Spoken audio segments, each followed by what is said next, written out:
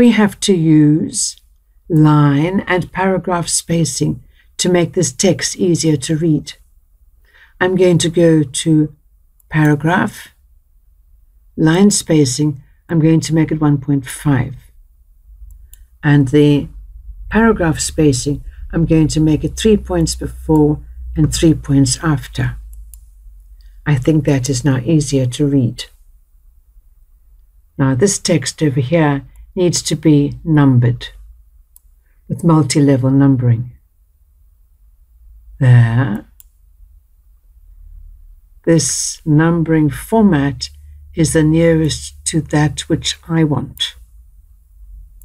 Now, paper, glass, cans, that needs to be level 2 numbering. That needs to be level 2 numbering. That needs to be level 3 numbering. This needs to be level 2 numbering. However, the level 2 numbering is not as I want to be. So I've just put my cursor in that and I've gone here to multi-level list, define new multi-level list. Level 2, I do not want that point. Delete it. Watch, it's gone. Now this level 3 level, I want to change something. I'm not going to paragraph. I'm going to multi-level list, define new multi-level list. Level 3, I don't want that point, and I want text to be indented more. Watch as I click OK. That is better.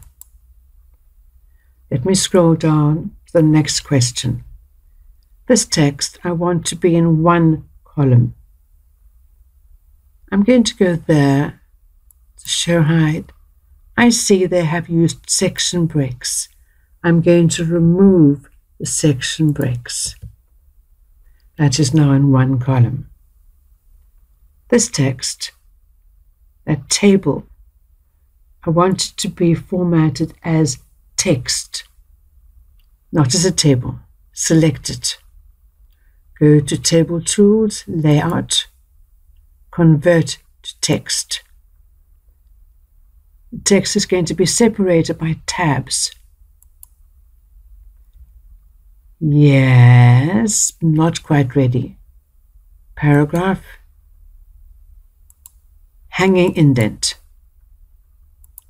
That looks almost correct, but the lines are not right. There.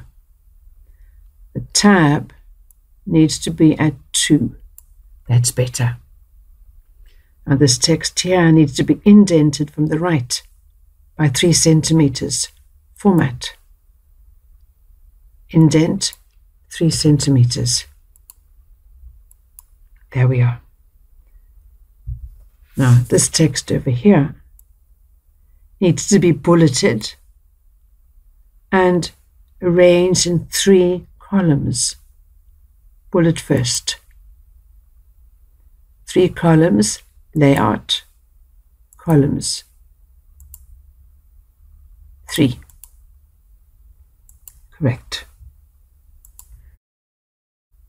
This text over here there, I need to have a text box control which will allow the respondent to enter their own name. I'm going to go to developer and I'm going to add a text box control. Now these controls need to be in a nice neat line with the leader dots. Select them. I'm going to go home, paragraph, tabs. I'm going to clear all the tabs. I want to set left tab with leader dots. That looks much neater. Over there, I need to have a suitable control which will allow the user to choose one item from a given list. Developer. No, not combo box. A drop down list control.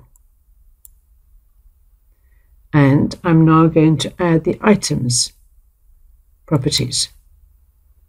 Add the items. Paper.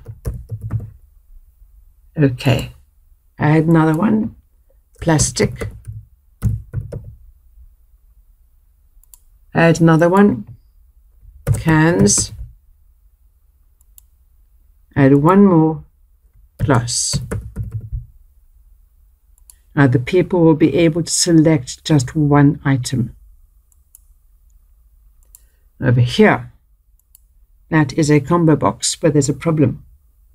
I'm going to have to edit it, select properties. Now here, I must remove ceramics. Select it, remove. Now these, I've got to change the order. I've got to make sure it is paper, plastic, cans plus. So I'm going to select cans, I need to move it up paper, plastic, cans, glass, nothing else. Thanks. Okay. This question